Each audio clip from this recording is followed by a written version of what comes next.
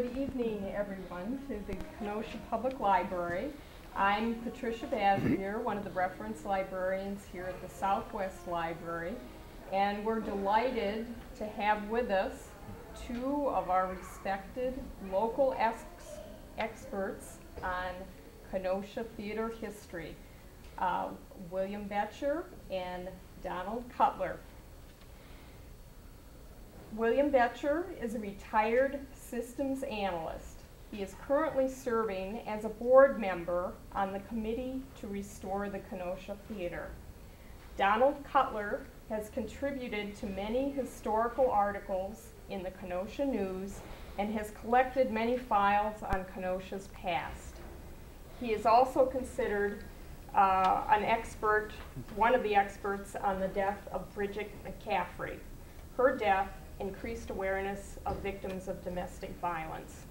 Both are experienced researchers. I can attest that they have spent countless hours, days, years uh, researching uh, information on Kenosha uh, theaters here at the Kenosha Public Library, in our clippings file, uh, in our microfilm collection, and other sources, as well as other resources in the community. Please join me in extending a very warm welcome to Mr. Boettcher and Mr. Cutler. And before, without further ado, I will turn the presentation over to Mr. Boettcher.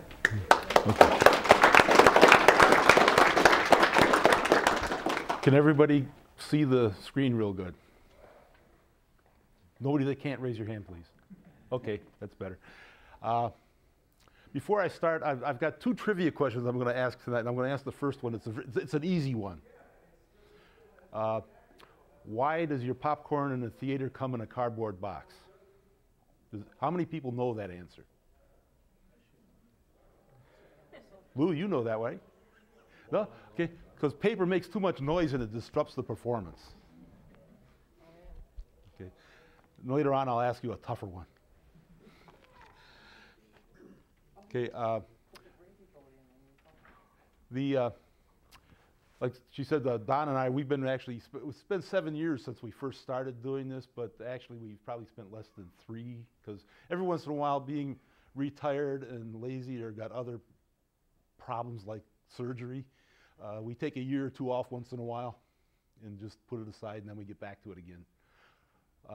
So that's it's, it's, just dragging out, but we've we've learned a lot, and we're actually well, I got 400 pages written so far, and I think I'm halfway done. Uh, what I'm going to do tonight is I'm just going to go through one one of the six sections of the book, which is I'm going to show you a picture of what's there's like okay there's 43 theaters and 24 locations, so that means there was as many as four theaters in the same location and or building. So there's really 20. So I want to show you the 24 locations, what's there today, and I'll talk a little bit about what was there. And I'll, any interesting little facts that come along, I'll try to throw a few of those out. If I try to tell you everything, we'd be here for the next 24 hours. So I'm going to try to squeeze this into an hour, so I'm going to limit uh, my comments. Uh, like you mentioned, we, there's 500 spools of microfilm that we've gone through, as many as four to five times. Each time we go through it, we find something new. And uh, I've actually revised the format of the book four times already. I've, in other words, scrapped it, start over because things better. By the way, the reason I picked the uh, theater's 100 years, 1891 to 1990, sounds cool. 100 years. and it's easy to remember 100 years. And I put theaters first because when you do a Google search, people are going to be searching for Google for theaters more than they are than the other words. Uh, we use extensively the uh, library facilities here and at Parkside. The microfilm, uh, the city directories. The, uh, they've got a, the, the library here has a fantastic paper file where if because one of the things you want to go look up tax records, the tax records are at Parkside in the archives. But if you want to find out the address and location, you have to know the ward that, that's in. But the wards change every few years. So there's plat maps. Well, the library here has a fantastic paper archive of most all the plat maps. So you got to go find the plat map for the year you're looking for the tax records, so you can go to Parkside and look up the tax records. So that's some of the things we run into as that takes time consuming to doing this research. oh, disclaimer: the accuracy, of what we find is only as good as our sources. I read a book recently that said that had a disclaimer in there similar to that says all errors and, and misquotes are the responsibility of my computer. okay. Uh, okay. This is the these are pictures of the original. They're not the current. That was the Vogue. The second version of the Orpheum. Down on the lower right is the Majestic, and then the Kenosha Theater. I want to point out uh, over here, notice the, the brick architecture of this corner. Uh, when I show you today's version of that, you will be able to see that pattern. Okay, now what I've, what I've organized this sequence is uh, I'm going to go from north to south in the downtown area, then I'm going to go from north to south all the other theaters that are outside of downtown. So the first theater that's north downtown was what was the PLAV. Uh, there it is today, as of last month. This is the uh, circa 1880, the Grand Hall. They changed the name already. They did change it already? It was that way last week? Circa on seventh. On 7th? They better change their sign then. but, anyways, it was the Butterfly from 1917 to 1935, and then it was the Hollywood from 41 to 54. Okay? Uh, as you can see, this, this, is a, this is the way it looked after when it was the PLAV, and there it is today. Uh, everybody knows where the PLAV was, right? Okay, so I don't have to explain that. This is a sample of what they've salvaged in the current. There, there's the trim here, the eggshell and the arrows, and then there's the the rosette there on, above the uh, the chandelier. Unfortunately, that's the only picture I got of the current in there. Uh, down the road, then, there was it. Well, I have to update this now because it's not Bacchus Billiards anymore. It's something else. Uh, we, me and Donna spent a lot of time on this particular one because the addresses from year to year kept fluctuating. It was hard to pin down which building really was the theater because sometimes the address that we had was on this building and then it was on this building and then there's the halves, the 13 and a half. Well, 13 halves were upstairs. Uh, but we, our opinion is the yellow and green was the theater and it's the northern half of the billiard place. The it was the two theater Star, 1910 and 1914, and then the Cozy from 15 to 16. The, uh, the other half of the, the mark, the uh, date on the cornerstone on the top there doesn't match the city records as to when it was really built. That date there is prior to when the city said it was built. Uh, anybody not? Well, okay, this is uh, right across from that restaurant. Marina Gardens. Marina Gardens, okay. The first Orpheum, and the, then that was the Blue Mill. It's now a parking lot. This is Cooler by the Lake, right here. So that's the parking lot next to Cooler by the Lake. And this theater was almost like a, a barn. It was huge. Uh, it actually covered the party lot, but it, it, actually went into where the current street is because the street was a little bit further over at back in those days. By the way, when I put this, when I put these addresses up here, I'm showing the address today, and I'm showing the address pre 1927. Of the. Uh, you get a little piece of it when you get a large picture of the Rhode. But that's a, you know, and then I actually I've his, the records we've looked up and the articles I've read says you can't. You, you, there's very few pictures of that one. Uh, it was torn down and they, when they made the Union Die. Was it Union Die Works? What is it called? Then there's the Rhode. This is not the original Rhode. This is, uh, the Rhode one was burnt down in uh, 18, yeah, 1896. Uh, it was rebuilt and expanded. 1927, that building was torn down and they built the gateway. And then for a period of a couple of years, it was the lake. And then it was the Rhode again until present. Uh, little trivia stories about the, the opening night on the original Rhode in 1891. Seats were auctioned off, so all the rich people in town obviously got first row front seats. Uh, they paid, they paid uh, like an exorbitant fee of like 20 bucks to be at the opening of the Rhode, which was when it was over, people were, I think, were demanding their money back. Because there's two things. The performers that they booked were old, and they actually, it was so bad, the performance, that they actually cut it short. And the other reason was is the gas pressure from the tank on the corner of Sheridan Road there was kind of low that night, so the, the lights were not very bright because the gas lights didn't have enough pressure. So the, the next night, uh, Mr. Rhode made sure that there was an electric light hung in the center of the theater, and the gas pressure was back up, so the lighting was better after that. Now, the, there was there was three roadies. There was uh, Peter Senior. He's the original. He, he ran it to begin with. Then uh, Joseph, his son, took it over after a period of time, and he had another son, Peter. His son, other son, Peter, actually was the. Back then, the advertising was, you didn't ever, you didn't. There's not much in the paper.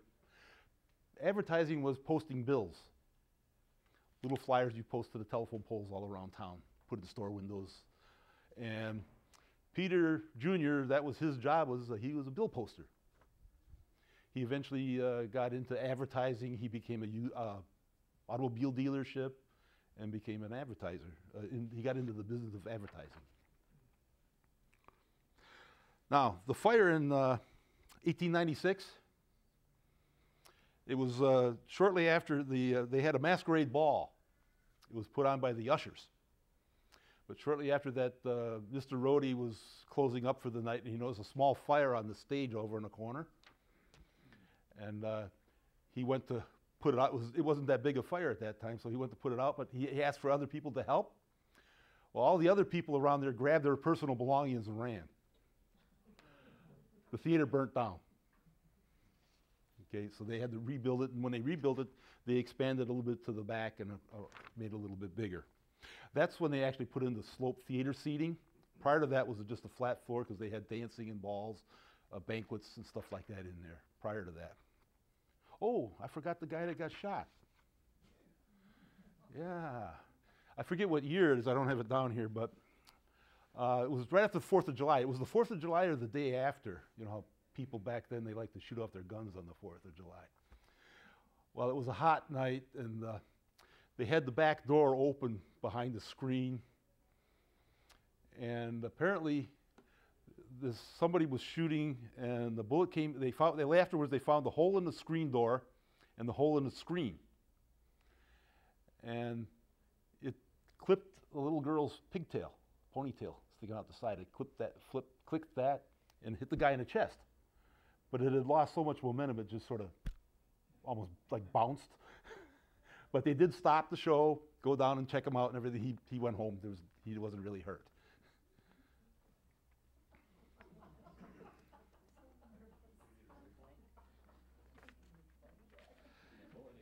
Huh? Oh, this is where the, the we were talking over here beforehand that when they built the gateway, um, the people I was over there looking at their archives, and they had the blueprints for the gateway, and the marquee that was out front said Kenosha. And it looked just like the Kenosha that's on the Kenosha. Except the Kenosha opened in September and the gateway opened in December. Now, when they built the gateway, they did something that I've, it's very unique. By the way, notice the architecture across the top and the face here? The bricks, uh, the way the bricks are and the, the roof line? Well, around the corner, whoops, I got it right. This is the lobby today. The ladies' lounge. And the concession stand. Am I missing a slide? I had a, what I did is the, okay. Inside the, uh, you can see the, on the Brat Stop 2 around the corner, same architecture. Because when they built the gateway, they built an exit that was, would come out onto Sixth Avenue, which is the southern half of the Brat Stop 2. Now, some of the people down there, when I interviewed them, they claim that the exit was really in the northern half, which is impossible because it's opened into an alley. Um, the bar came from, they, they call it a gentleman's entra- entrance. Well, it wasn't, it was an exit, because I got it on the, the uh, city assessors, it's got a little note and says closed off exit. So it wasn't an entrance, it was an exit. And if you look, if I, we, me and Don, we went inside and we tapped the walls to find out where the hollow, where they plugged up the walls. And it's in the main, it's right at the back of the main floor where the seating is. You don't have an entrance into your main floor from outside. So that was an exit, not an entrance.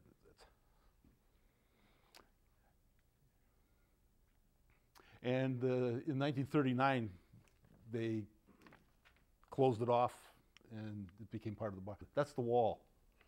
Behind the curtain, that's where the, the exit doors were to go out to Sixth Avenue.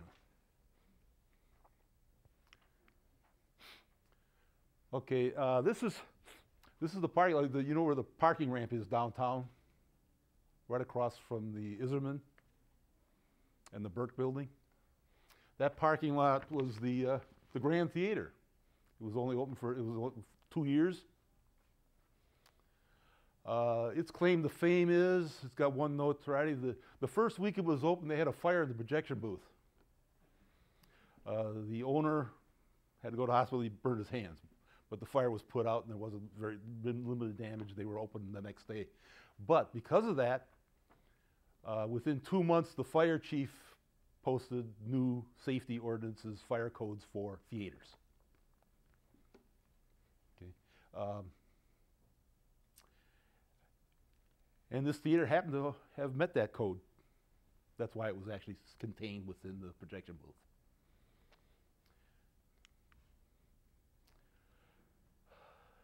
This might be familiar. Uh, okay, to the right is this looks like one building here, but there's really two. This is the Iserman building, and this is the Burke building. This part here. This here is a, the marquee from when it was the Ken, but it was originally the Burke, the Cameo, the Chief, and the Ken. And it did have a slope four, slope floor at one time. And when it was the Ken, it actually showed overruns or seconds uh, to the Kenosha Theater because it was run and operated by the same people. By the way, if anybody's got any questions as I'm going along, you know, feel free to ask. Fire here too. Major Yeah. Yeah. Uh, I don't know which theater it was at the time that it happened. I think it was the Cameo when it, when it had the fire. Yeah, there was quite a few fires throughout the years, many different theaters. Okay, then we took the Burke. Oh, Princess One. This, this is this one almost didn't make the list as a, as a real theater. It was actually, uh, oops, wrong button. Go back.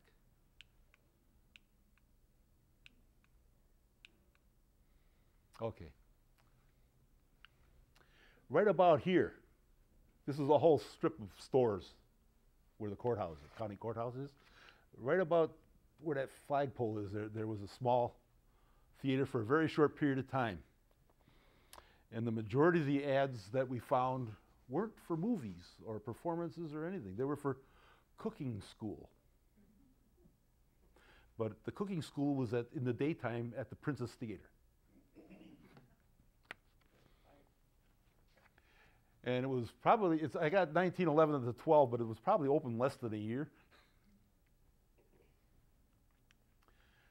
as you can see, some of these theaters were, boom, they're here, they're gone. And some of them were there for a long time, okay?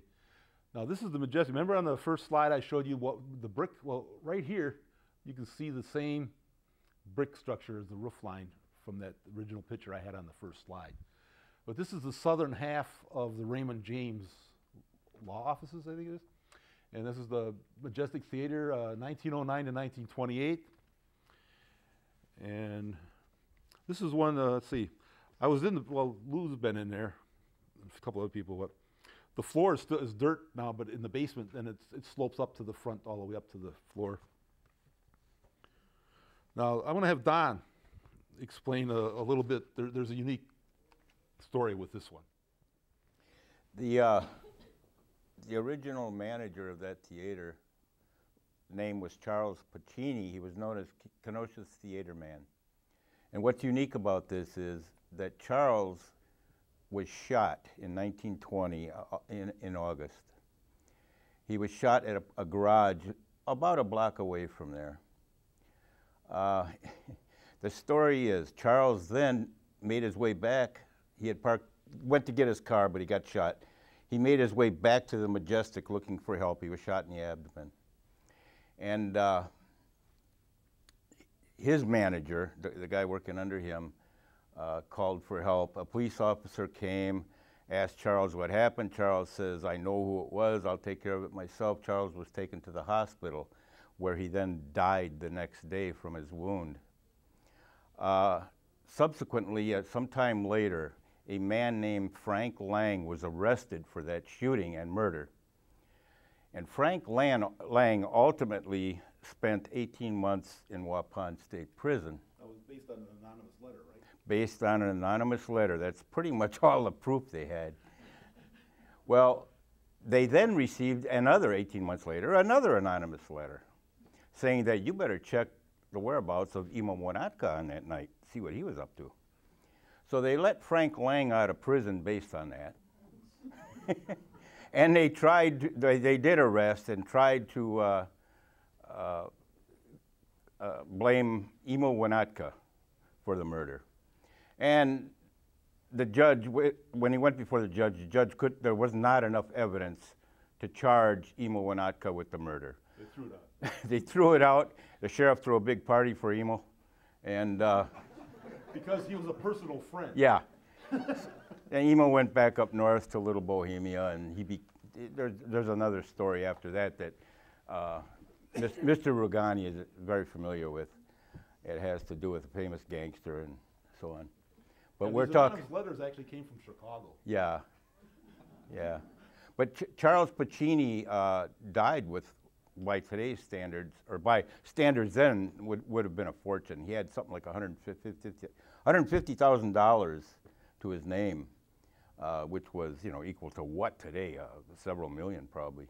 And he made that on nickel admissions to a theater. But by the way, Charles Pacini didn't only run and operate the Majestic. He had the Strand, which he never lived to see uh, operate, and he had the Butterfly in the beginning also. So he was Kenosha's theater man. And the Lincoln, Did he own the Lincoln too? he was building it, yeah. Oh, he's building it, okay. Okay, thank By the you. way, I don't have a record of that because it was never was, was done while he was owning it. Yeah, we got a different guy on that one. Yeah, that was a, was it the Lencioni's? Yeah, there was a Lencioni was a partner Yeah, that schmuck. with him when they, uh, with them in the Majestic. Dominic Lencioni? But Frank Pacini uh, was quite a name in his day. He was a wealthy man.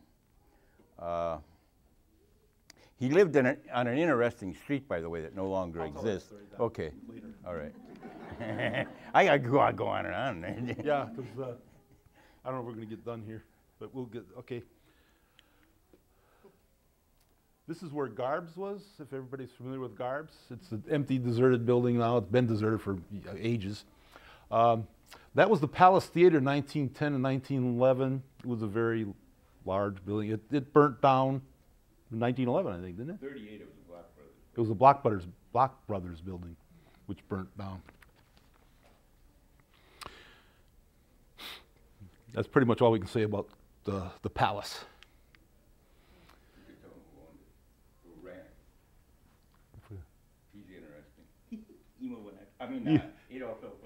Oh, Adolf Alfieri. Oh, maybe I can go tell that other story now. Adolf Alfieri, he was the, we're going to get to it later on. There's the Electric Theater, which is boom, here, gone, and but Alfieri ran that one too, and he ran this one. But there's this um, Pacini and Alfieri, where today's post office is.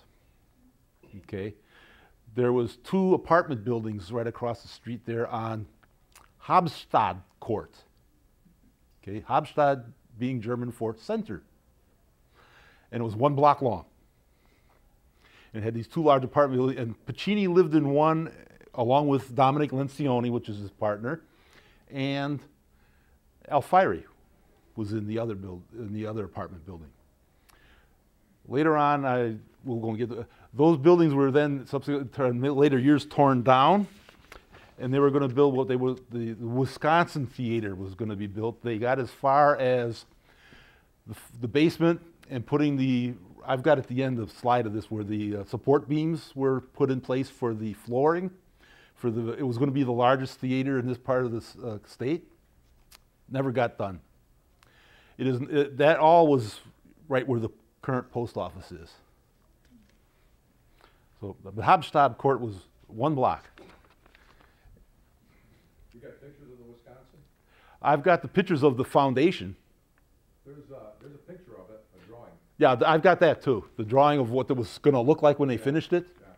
But I think they went, it lasted for, they got five years before they finally went bankrupt. But I, I, I I always suspect that if the Wisconsin ever did, would have gotten done and finished and built, that maybe that some of the others, like the Kenosha, would never have happened. Okay, this is everybody knows what the leader store, right here. Uh, it's had many different faces over the years, but uh, back into the 1800s, it was the Central Music Hall. And in 1905, it was the Bijou Theater was built there. It was in that same building. It was remodeled when they made it the Princess for a very short period of time. Then it became the Virginian. And uh, this is the original building, by the way. The floor of the theater is still in the basement. And I think Lou mentioned earlier that you can go in there, you can see the architecture where the projection booth was and stuff like that. It's been remodeled and expanded several times. Uh, when it was the Virginian, I believe the, uh, the Elks, it was the Elks Club. They had their meetings and everything upstairs. Um, I've got a couple of bricks that I salvaged from the stage area of that theater, and I'll show you the. This is the floor. What they did was in the basement they cut a path through the floor so you can walk from front to back, but there's so there's floor on each side of it. You can see the, the sloping floor. That's where the stage was, up in. Right, oop, back up. Right in here was the stage. I, I picked up a couple bricks from there. There, I got them in the back there. There was a, they had a, they advertised as being the first talkie shown. Was it, was it the Bijou or the Virginian? I think it was the Bijou. The Bijou showed the very first moving picture. First, the very first, Actually, Central Music Hall, which became the Bijou. yeah. But somewhere along the line, they, they, uh, they advertised that they were the first talkie. Talkie being, they had a bunch of actors behind the screen reading a script.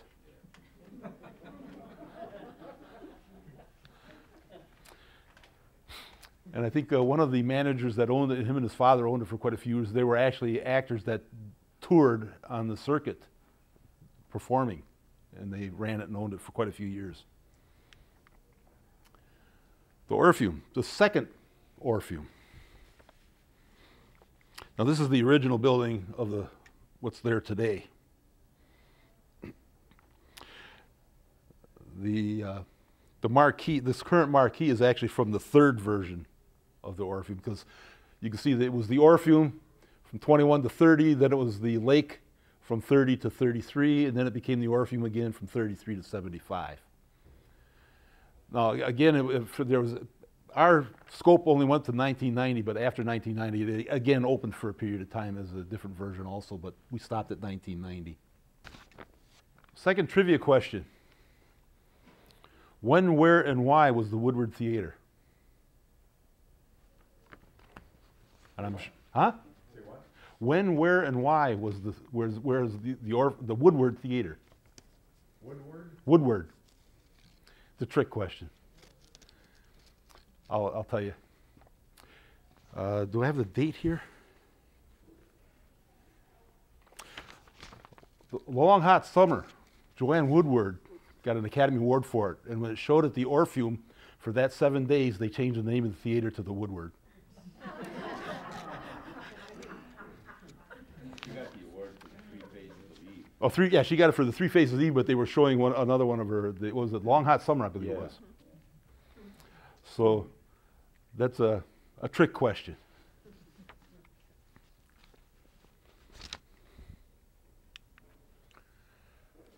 Kenosha Theater. This is actually because I've been actively involved with the committee to restore for the last 10 plus years. I've got a lot of, most everything you, uh, along the side wall there, I've got all the framed stuff that's all from the Kenosha Theater. Uh, I've got the floor tiles from in front of the ladies and the men room. There's lipstick and lips was in front of the ladies and top hat and cane in front of the men's. I've got glossies, some of them autographed of performers that performed at the Kenosha Theater.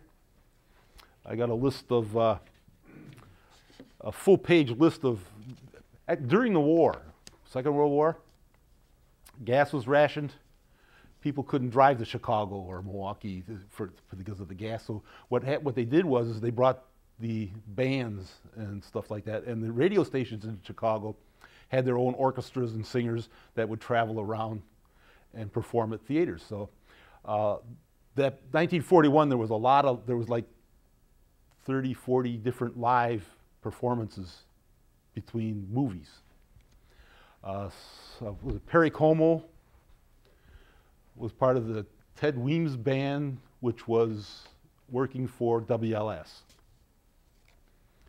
And they showed uh, they showed the they would show boxing fights. The championship boxing fights were shown at the theater. Stuff like that. Uh, Blackstone the Magician disappeared an elephant off the stage. The uh, was it the Three Stooges? The Three Stooges performed there frequently. Uh, they like to go to the diner. That was their fa- That was the reason they, they gave that. They gave that reason why they wanted to perform Kenosha because they go to the diner. uh, hmm?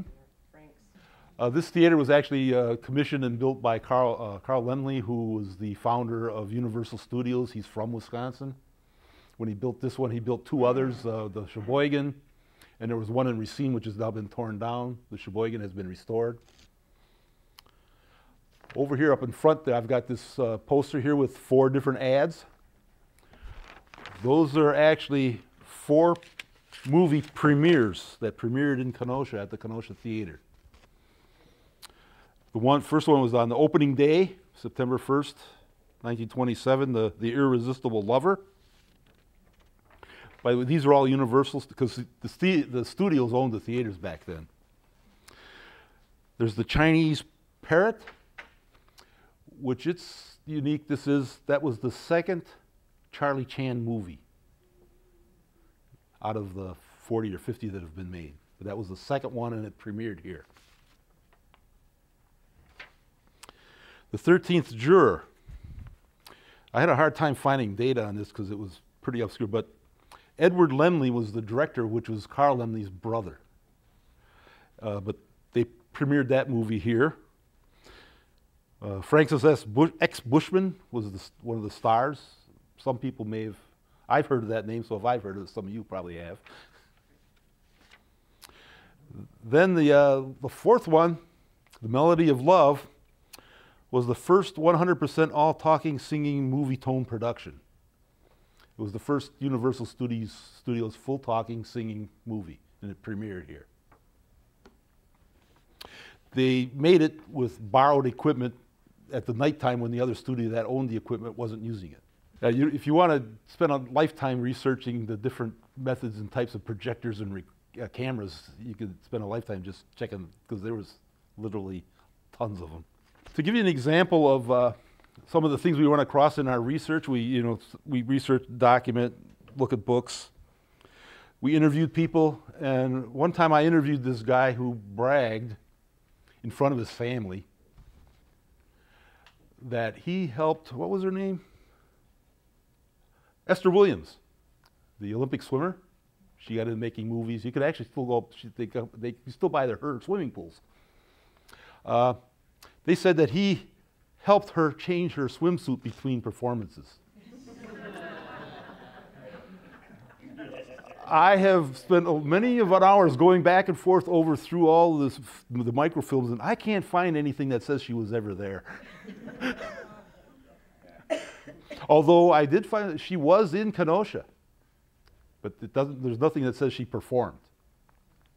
She came here to uh, congratulate a local swimming Olympian. I don't remember what year that was, but uh, that she was in Kenosha at one time, but not for the not for swimming in a pool. Uh,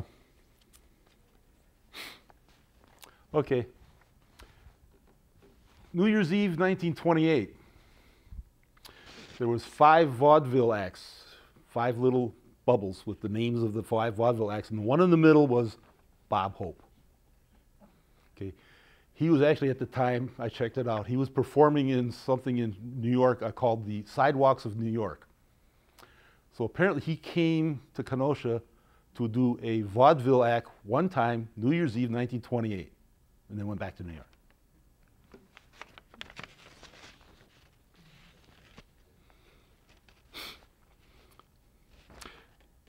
Uh, uh, you can't see it from the front here, but the, the basic architecture, this is what they call an atmospheric theater, the atmosphere being a Spanish castle courtyard. So when you go inside, there's uh, arches. There, the ceiling is a blue sky with stars in it, and they project a cloud that, this, it goes across the sky, the ceiling. Uh, so this, this is a very, and it also was the largest. It's 2,300 seats. There was no other theater in Kenosha that came even close to that. The only other ornate ones we show you was the, the Majestic and the Rhodey. Those are probably the top three as far as uh, artistic and atmosphere. This is inside the Kenosha Theater. This is uh, from the, the stairway going up to the mezzanine, and uh, this is the stairway going up to the balcony. And down here is the foyer. Several years ago, we had uh, there was five Frenchmen from France. They had this unique hobby of every time they, they every year they had their uh, vacation, they would come to the United States and travel around the country and take pictures of old theaters. This is a this is a 10 minute time exposure. And this is from the this is a 30 minute time exposure in pitch black. What they did, the guy went around and took a light and painted the walls so that the film would then capture each line as he painted the walls. But it's a 30 minute, isn't it? The colors are awesome, isn't it? But that's the inside of the Kenosha Theater. This is the from the foyer looking out to the street. There's three sets of doors. There's the inner lobby, the outer lobby, and then the street. The theater actually goes all the way from Fifth Avenue to Sixth Avenue, from sidewalk to sidewalk. I've had people when I've stayed and talked, where's the Kenosha Theater? I said, well, just turn around. You know, it's right there. The electric, uh, this almost didn't make the cut also, but this was Adolph Fiery that I mentioned before. Uh, see this white van here? Right there, upstairs. Because it was 5913 and a half was the address. I think, yeah, 5913 and a half. Uh, so it was supposed, supposedly bright. It was the first electric theater in Kenosha, but it didn't last very long. And the, the, the only ads we found, very few ads, and the ads were movies, five cents. That's the ad. but I've got, a, I've got actually an old picture of showing me the sign electric, and I've got records of it actually being recorded as a, a business in that facility, uh, with that address. So it did exist, but it, it's the, I just like it because it's unique. Now, that's all of downtown. Now we're gonna go to the north side of the, in the, the Mid-City Drive-In. Yeah, it opened uh, one month before the Keno did. That's about all I got on the Keno. Outside it was, it was, as far, back then it was, that was way out of town. And uh, there was the, the, what was that school? Berryville, yeah, I should forget, my mom went there. My mom went to Berryville. There's the Vogue, everybody, that's Lou's favorite, right, Lou? You like them all? The Vogue was very uh, well known for giving out, uh, there was dish night. Dish night, so that you could get a complete set of china if you went often enough, long enough to get a, you know, one piece at a time. But apparently, when they, the, the week that they gave out the gravy boat, uh, apparently, I guess a lot of them never made it home because they broke. And then they ran out of replacements and they never could get a replacement, so a lot of people ended up with a complete set of dishes without a gravy boat.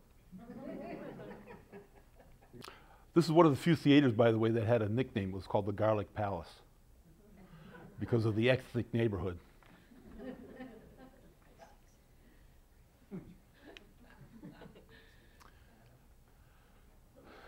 Now this uh, this is a parking lot. Uh, that's uh, I think that's uh, on the other side of the street there. That's what the, the flea market there, and there's a tavern on the corner. Then Johnny Midnight's is kitty corner.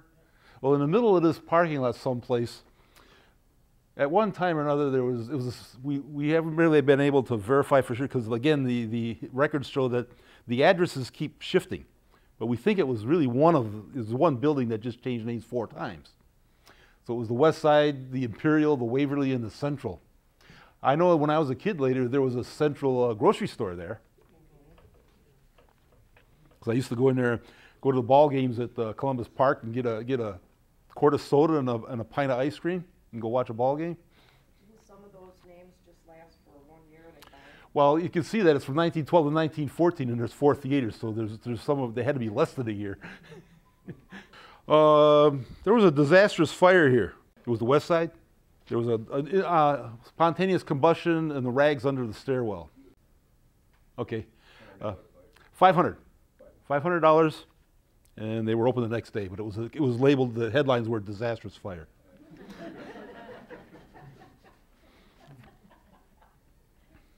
Uh, that's one of the things about these. These are all in the uptown area, sort of, and they're all parking lots today. And there's many theaters that change hands real quickly, and they didn't really last that long.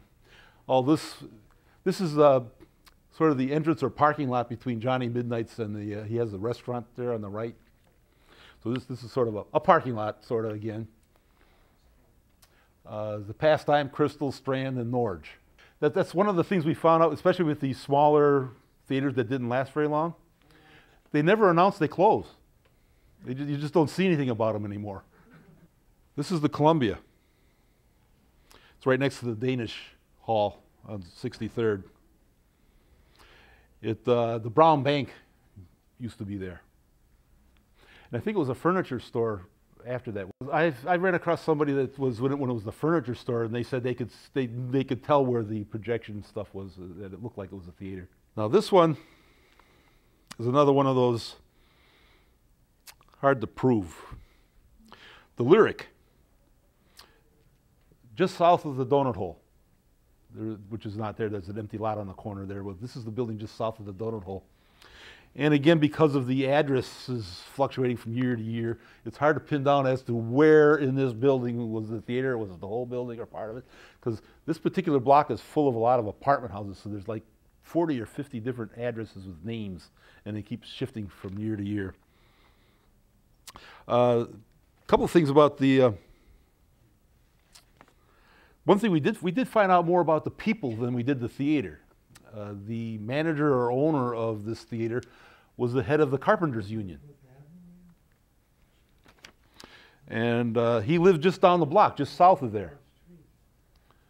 Uh, I think his his assistant manager lived across the street, and ended up marrying his daughter. Bell was the last name. I can't remember the first name you know, ring a bell?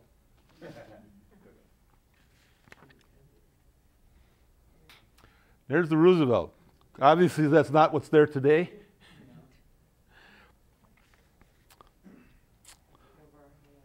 We got some souvenir brick, bricks from that I got in the back there where I, I, got one from the front and one from the side. I've actually taken movies and pictures of the actual tearing down process. Bill Exton was owned and ran it for many, many years. He was uh, he was big in the he was he loved kids. He had his desk in his office right down in the middle of the lobby, and he was always out there greeting and talking to the kids. And I used to live in that neighborhood, and when I back in the '50s, when I used to I go to the Saturday matinee, the way they uh, the way he ran it was is he would show a movie, show some cartoons, re- show the movie again, show the cartoons. I think it's two or three times on a Saturday. And I love cartoons, especially when I was a kid. So I watched the movie, I watched the cartoons, and then I watched the movie again so I could see the cartoons again. and my mom was wondering why I was getting home so late. So when I told her why, she called Bill, and from then on, he showed the cartoons first.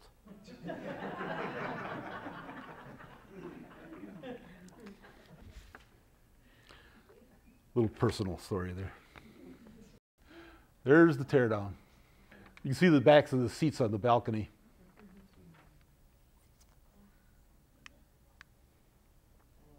There's the last piece, just before they knocked it down. Recently? 09. The Lincoln. It's now a church. Yeah, this is, it's now a church. It's in the Lincoln neighborhood, uh, just north of, uh, was it, St. Mark's, south of the Lincoln Superette. Uh, if you go inside, you can actually tell the features that were there because it was a theater.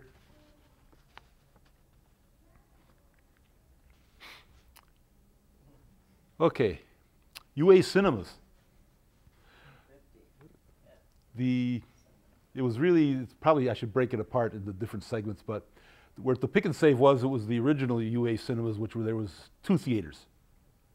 And then they built, uh, in the, where the parking lot is now in front of it, that was, they would had uh, five screens, UA Cinemas. They had five screens for a period of time. Then there's uh, Market Square. This is the original building. I think this started out as two screens and then converted to five somewhere along the way, and then it's now part of the uh, county job center. Okay. Can I explain something real fast, Bill? Yeah. Uh, ending, when, when theaters close is real hard to determine in many cases because uh, there is no definitive, okay, closed. They faded away in a lot of cases. Like we were talking about the Vogue and others. They struggled to stay open due to the television came out or the war or whatever. So they faded away. You could run out of ads and not see another ad for a year. So yeah, they, they reopened. When did they close? It's hard to determine in a lot of cases. And the smaller ones never even advertise that they're opening. Although a lot of times when we had the, one of the things we noticed as we were finding openings where they actually advertise an opening, every time a theater opened in Kenosha, it was claimed as to be the best, the greatest, and the most fantastic theater ever. Yeah, yeah. Then there's the Keno Drive-In. Both drive-ins are on Sheridan Road. One is the northernmost, and the other one's the most southern. They both opened one month apart in 1949. Um, I- as you know, there's talk about it's probably going to be this is the last year.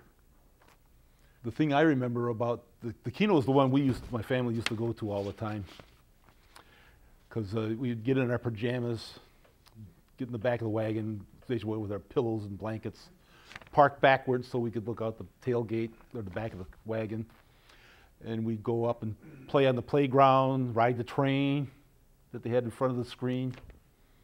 So it was a, it was a whole, it was like a whole day out to go to the drive-in. And then I can remember when I was older that on a Buck night, was it? Uh, one driver in the car and four of us in the trunk.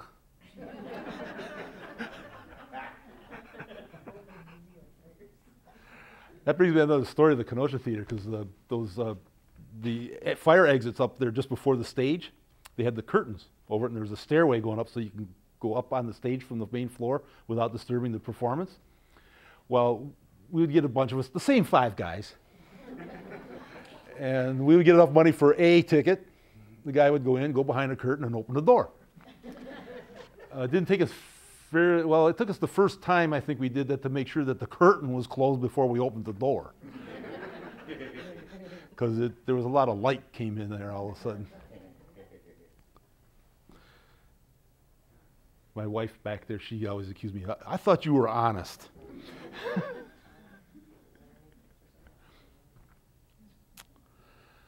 uh, this here is uh, like this is a right here. This, these walls and the grid work there. That was the Wisconsin that never was, the theater that never finished. City Hall was over here, and the present, the current, well, it was present at that time the picture was taken. Uh, that was in 1924. It was actually taken from the top of the Elks Club.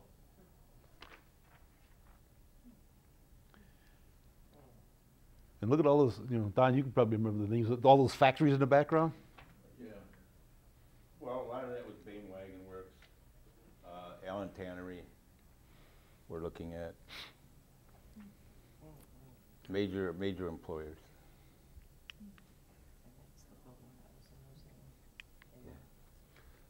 Okay, that's the end of the slideshow. Uh, I've got to, go, go ahead. Thank you. Uh, for, for you uh, technical computer geek type people, I got, I got a spread chart on a panel back there that shows the theaters alphabetically open, closed, number of day, years they were open, across the top or by year, number of theaters open per year, and each bar represents the time that each theater was open. It, it covers in one sheet just about everything you need to know, basically. Uh, that's all. Thank you for coming.